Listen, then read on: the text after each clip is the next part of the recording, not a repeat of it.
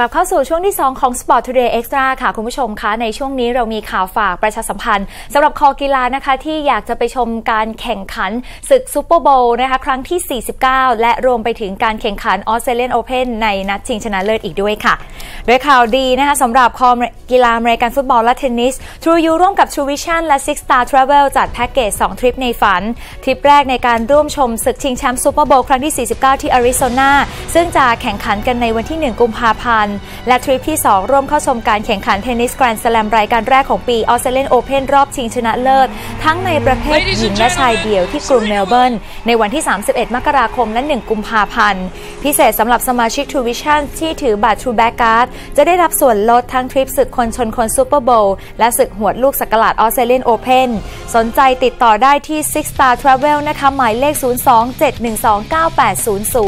027129800 แพ็กเกจมีจำนวนจำกัดค่ะ ขณะที่กลางสัปดาห์แบบนี้ครับ อย่างเมื่อคืนที่ผ่านมาครับ ก็เป็นคิวฟุตบอลถ้วยในยุโรปนะครับ ไม่ว่าจะเป็นที่ฝรั่งเศสหรือว่าอิตาลีเดี๋ยวเรามีผลของอฟุตบอลเฟรนช์คัพนะครับฟุตบอลถ้วยในฝรั่งเศสมาฝากกันครับ ซึ่งเมื่อคืนที่ผ่านมาน็องต์ก็เอาชนะโอลิมปิกลียงไป 3 ประตูต่อ 2 ซึ่งเกมนี้ครับแวงซองต์ เบสซาต์ครับก็กระหน่ำแฮตทริก พาน็องต์ครับเปิดบ้านเขี่ยโอลิมปิกลียงตกรอบ 32 ทีมเฟรนช์คัพเมื่อคืนที่ผ่านมา การพบกันระหว่าง 2 ทีมจากลีกเอิงครับที่สต๊าดโบชัวร์ลุยส์ฟงเตอโนครับครึ่งแรกเนี่ยเริ่มมา 5 นาทีครับลียงทีมเยือนเนี่ยได้ประตูขึ้นนำจากอเล็กซานเดรลากาแซตต์นะครับ ก็ขึ้นนำไปก่อน 1-0 แต่จากนั้นครับนาทีที่ 19 ครับน็องต์เจ้าถิ่นเนี่ยก็ได้ประตูตีเสมอ 1 ประตูต่อ 1 จากแวงซองต์ เบสซาต์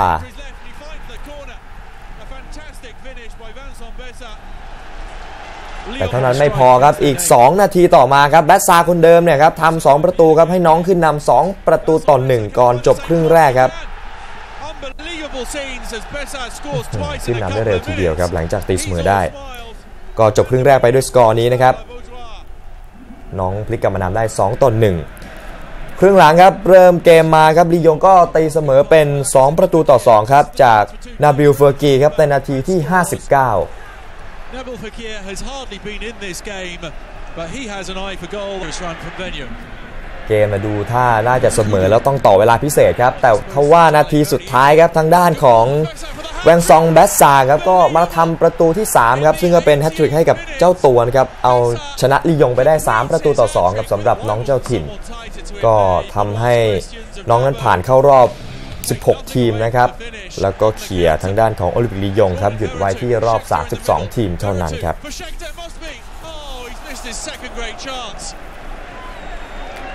ขณะที่ผลคู่อื่นนะครับเฟรนช์คัพก็มีทางด้านของเกลวิลลี่นะครับก็ผ่านเข้ารอบไปครับ หลังจากในเวลาเนี่ยเสมอกับบาสเตีย 1 ประตูต่อ1ครับ แล้วก็ดวลจุดโทษเอาชนะไปนะครับ อีกหนึ่งคู่ครับเป็นอาฟรองช์นะครับ แพ้ต่อเวลาทางด้านเม็ตซ์ไป 0 ประตูต่อ3นะครับแล้วก็ยูราซูดนะครับแพ้โอแซร์0ประตูต่อ1องเดรซิเยอร์ครับแพ้ทางด้านอีริสคลับเดอะครัวไป 1 ประตูต่อ 2 แล้วก็เยซูเร่ครับชนะวาลองเซียนไป 2 ประตูต่อ 0 แล้วก็อีกหนึ่งคู่คือกองกาโนนะครับต่อเวลาเอาชนะทางด้านของดีชงไป 1 ประตูต่อ 0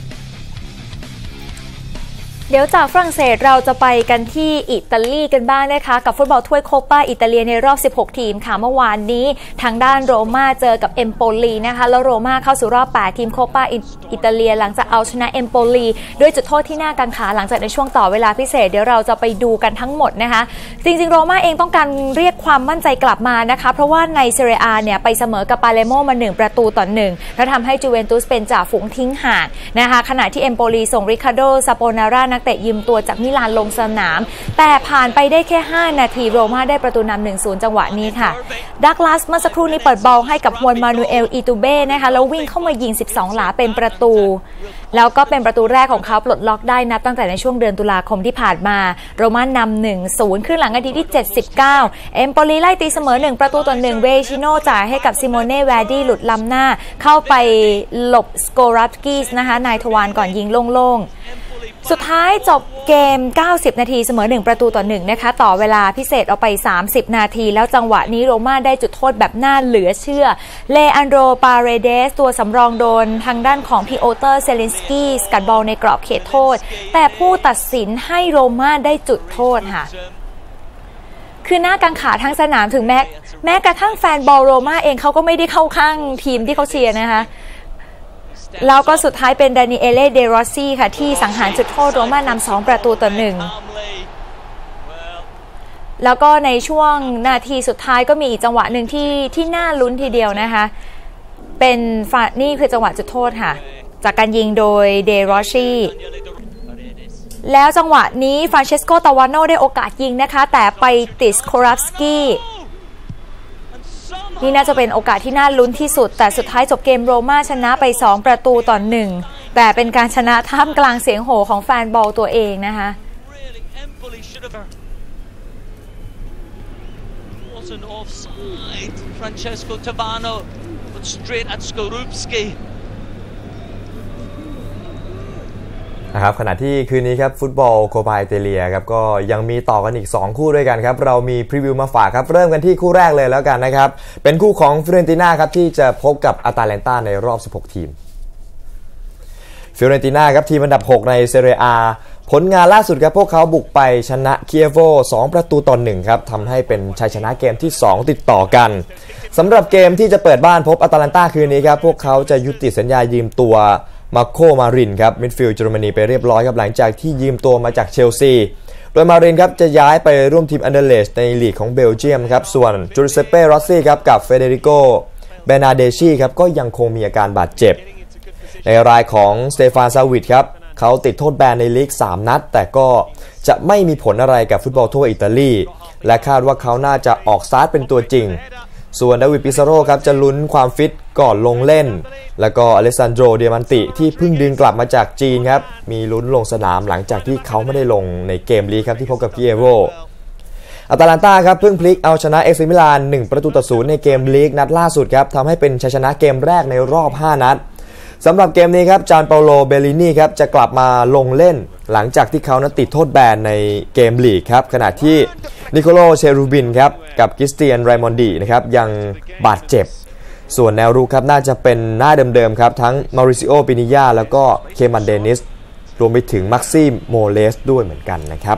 ก็ทั้งคู่ก็เจอกันในเซเรียอาเมื่อเดือนกันยายนปี 2014 ครับซึ่ง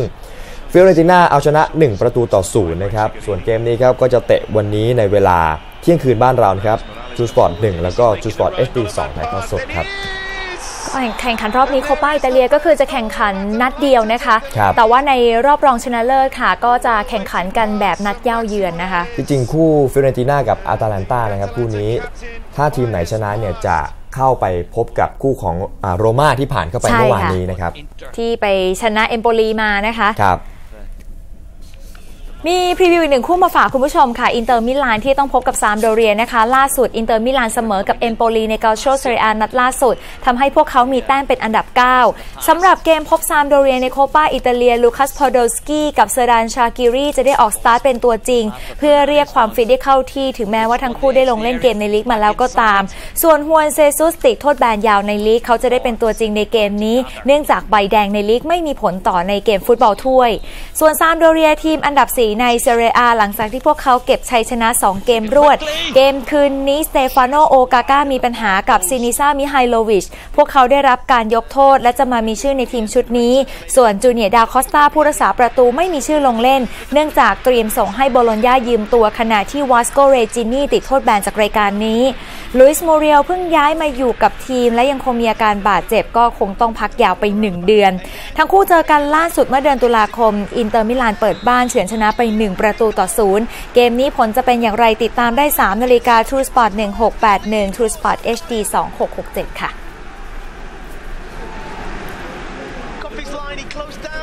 ครับเดี๋ยวไปต่อกันด้วยโปรแกรมถ่ายทอดสดกีฬาครับใน True Sport Today โคปาอิตาเลียครับรอบ 16 ทีมครับฟิออเรนติน่าพบกับอาตาลันตาครับในเวลาเที่ยงคืนครับต่อด้วยอินเตอร์มิลานพบกับซัมโดเรียครับเวลา 3 นาฬิกาครับตี3 True Sport 1แล้วก็ True Sport HD 2ฟุตบอลเฟรนช์คัพนะครับรอบ 32 ทีม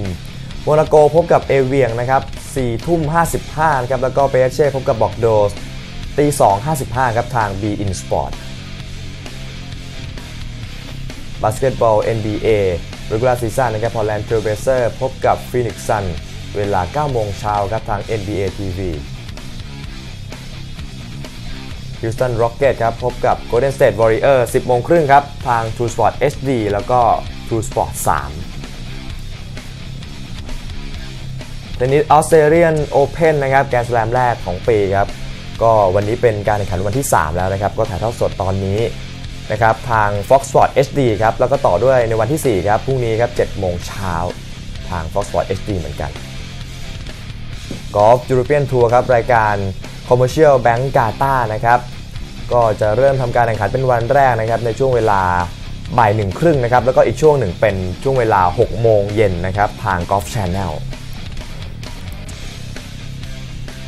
และนอกจากนี้คุณผู้ชมสามารถติดตามข่าวสารข้อมูลเพิ่มเติมในแวดวงกีฬาได้นะคะที่ Facebook Fanpage รายการของเรา www.facebook.com/sptoday นั่นเองค่ะครับปิดท้ายกันกับ World in Motion นะคุณผู้ชมคะจะพาไปชมการแข่งขันฟุตบอลเทนนิส ก็คือลักษณะการแข่งขันจะคล้ายๆ ตะกร้อ แต่ใช้นักฟุตบอลเล่นค่ะอ๋อน่าสนุกมากที่สำคัญเป็นนักฟุตบอลระดับตำนานนะคะ นั่นคือทีมเมสซี่นะคะจอยคู่กับเดเบสครับแล้วก็อีกหนึ่งทีแล้วก็จะต้องเจอกับทางด้านของมาราโดน่าและเอนโซค่ะ น่าจะสนุกทีเดียวทีมไหนจะเป็นฝ่ายชนะ เดี๋ยวเราไปติดตามกันสำหรับ World in Motion ในช่วงนี้นะคะครับแต่ว่าสำหรับช่วงนี้หมดเวลาของเราสองคนและทีมงานแล้ว ขอขอบพระคุณทุกท่านสำหรับการติดตาม ติดตามได้อีกหนึ่งช่วง Sport Today 19นาฬิกา30 นาที สวัสดีค่ะ สวัสดีครับ